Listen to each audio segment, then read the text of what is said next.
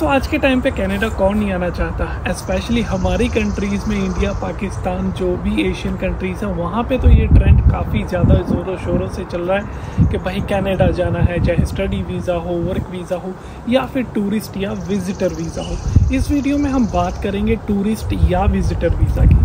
बहुत लोगों को तो घूमना पसंद है कनाडा के, जाके नायगरा देखेंगे, ये देखेंगे, वो देखेंगे। तो बहुत सारे लोग ऐसे भी हैं जो यहाँ पे आके टूरिस्ट वीज़ा या विज़िटर वीज़ा को वर्क परमिट में चेंज करवाने की फ़राक में है। तो ये वीडियो में हम बात करेंगे जी कि आप कैसे आसानी से टूरिस्ट वीज़ा या विज़िटर वीज़ा के डॉक्यूमेंट्स इकट्ठे करके आसानी से अपनी फ़ाइल लगा सकते हैं। अगर हम मैं बात करूँ tourist visa to work visa convert करवाने के लिए, उसके लिए ऑलरेडी एक वीडियो चैनल के ऊपर है, आप उसको जाके देख सकते हैं।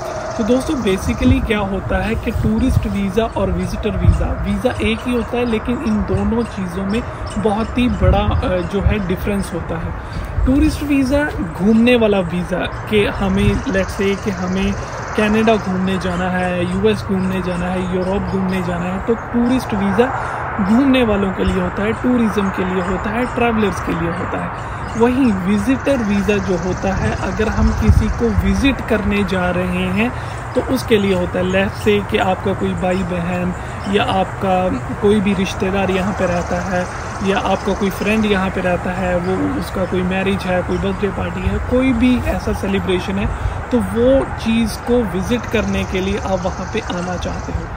तो इन चीज़ों को मिक्स नहीं कर सकते, क्योंकि कहीं ना कहीं जो डॉक्यूमेंटेशन में फ़र्क है, वो बहुत ज़्यादा होता है टूरिस्ट वीज़ा और विज़िटर वीज़ा की फ़ाइल में। जो एक सबसे बड़ा डिफरेंस रहता है, वो ये होता है कि टूरिस्ट वीज़ा में आपको इनविटेशन लेटर की ज़रूरत नहीं पड़ती। लेकिन अगर आप विज़िटर वीज़ा लगा रहे हो, कि लेट से मैं स्टूडेंट हूँ, अगर मैं अपने पेरेंट्स का वीज़ा लगाना चाहता हूँ तो मुझे उनके लिए सबसे मेन इंपॉर्टेंट डॉक्यूमेंट है, वो होता है इनविटेशन लेटर वो मुझे उनको इनवाइट करने के लिए बनाना पड़ता है, ताकि मैं उनको इनवाइट कर सकूँ, और उसके बेसिस पे वीज़ा बहुत आसानी से लग जाता है। तो आप सबसे पहले तो कैटेगराइज कीजिए अपने वीज़ा को कि आपको टूरिस्ट वीज़ा लगवाना है या विज़िटर वीज़ा लगवाना है। लेट से दोनों के लिए डॉक्यूमेंट्स की बात करते हैं। तो दोस्तों नॉट इवन कैनेडा दुनिया की कोई भी कंट्री का अगर आपको वीज़ा चाहिए तो आपको तीन कैटेगरीज के डॉक्यूमेंट्स चाहिए रहते हैं। बहुत सारे डॉक्यूमेंट्स होते हैं, लेकिन मैं नॉर्मली इनको तीन कैटेगरीज में बांट लेता हूँ। सबसे पहला होता है जी पर्पज़ पर्पज़ के आप वहाँ पे कंट्री में जहाँ पे भी जाना चाहते हो, वहाँ पे जाना क्यों चाहते हो असल में?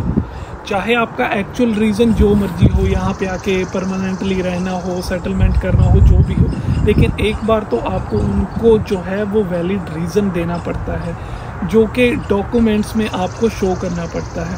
पर्पज़ ऑफ़ विज़िट चाहे आपको घूमने जाना है, जो भी टूरिस्ट वीज़ा वाले हैं, उनको तो होना चाहिए कि आपके पास जो भी ट्रैवल के डॉक्यूमेंट्स हैं कि लेट से कि आपने पहले कहीं पे ट्रैवल किया है ट्रैवल हिस्ट्री आपके पास है तो वो एक बड़ा डॉक्यूमेंट आपके पास होता है, जो भी आपकी पासपोर्ट के ऊपर स्टैंप्स वगैरह होती हैं, या फिर अगर आपको घूमने जाना है, आपको एक ट्रैवल आइटनरी बनानी आनी चाहिए कि भाई आप कनाडा घूमने आ रहे हो। कनाडा तो बहुत बड़ा है। कनाडा में कहाँ घूमोगे आप? ब्रिटिश कोलंबिया देखना है, आपको ओंटारियो में नाइग्रा फॉल देखना है मॉन्ट्रियल सिटी देखनी है और कहाँ जाना है आपको? आप डे बाय डे एक आइटनरी बनाइए। अगर आपको उसमें हेल्प चाहिए मुझे मैसेज कर सकते हो, मैं हेल्प कर दूँगा आपकी।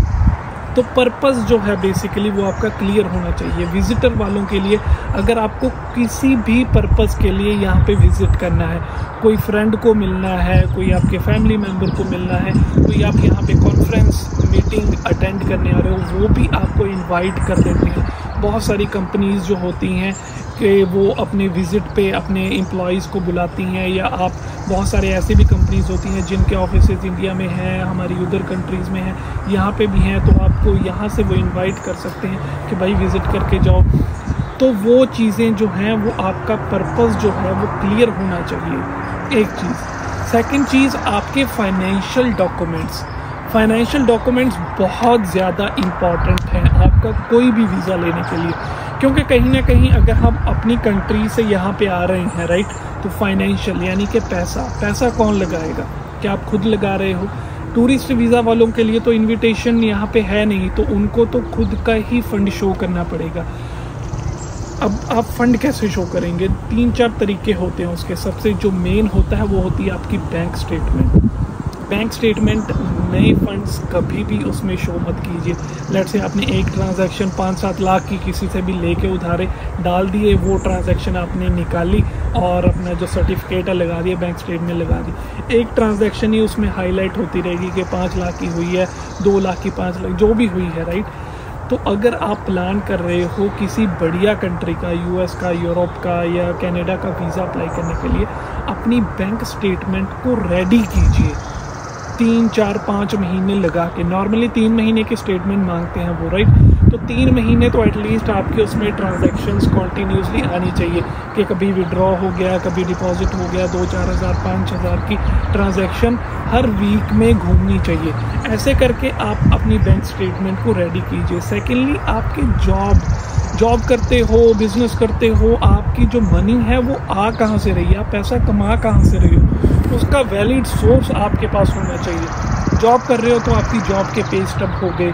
आपकी सैलरी स्लिप्स जिनको बोल देते हैं हम लोग राइट और उसके अलावा आपका एक्सपीरियंस लेटर हो गया, जिस पे आप परमिशन लेके आओ कंपनी से कि भाई आपको छुट्टी दे रहे हैं वो राइट उसके बाद में जो भी आपके फाइनेंशियली डॉक्यूमेंट्स में आप अपनी गाड़ी का जो भी हम दिखा सकते हैं कि मेरे पास ये प्रॉपर्टी पड़ी है, घर पड़ा है तो ये सारी की सारी जो भी आप गोल्ड पड़ा है, आप फाइनेंशियली स्टेबल हो, आपको ये प्रूव करना आना चाहिए। गरीब गरीब फाइल्स को वो कहीं ना कहीं हटा देते हैं राइट चाहे आपके ट्रैवल पे एक्सपेंसेस हो, ना हो, लेकिन आपको अगर इन कंट्रीज़ में वीज़ा चाहिए, आपको कम से कम कम से कम इंडिया के हिसाब से पाँच सात लाख तो कम से कम मैं बोल रहा हूँ कि शो करना चाहिए। क्योंकि अगर आज के टाइम पे बात करेंगे तो डेढ़ लाख की तो वन वे की टिकट आती है जी कैनेडा यूएस की। सवा लाख, डेढ़ लाख के आसपास।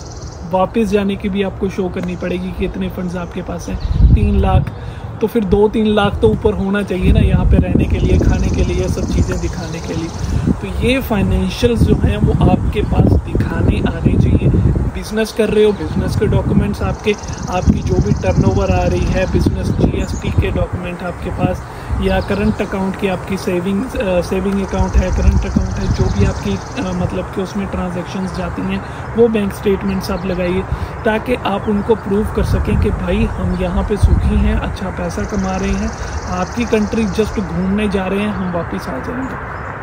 पहला पर्पस क्लियर हो गया। सेकंड आपको इस हिसाब से ये सारे डॉक्यूमेंट्स जो लगा के जो मैंने बताए हैं, अपने फाइनेंशियल्स क्लियर करने हैं।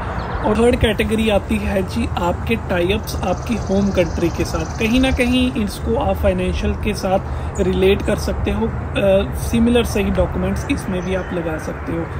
टाइप्स यानी कि आपको ये प्रूव करना है अम्बेसी ऑफिसर को कि आप कंट्री को विज़िट करके वापस आ जाओगे। उसमें आपके बिज़नेस के डॉक्यूमेंट्स जॉब के डॉक्यूमेंट्स ताकि आप ये प्रूव कर सकें कि हमें वहाँ पे रुकना नहीं है। फाइनेंशियल में भी सेम कहीं ना कहीं डॉक्यूमेंट लगेंगे इस कैटेगरी में भी सेम लगेंगे।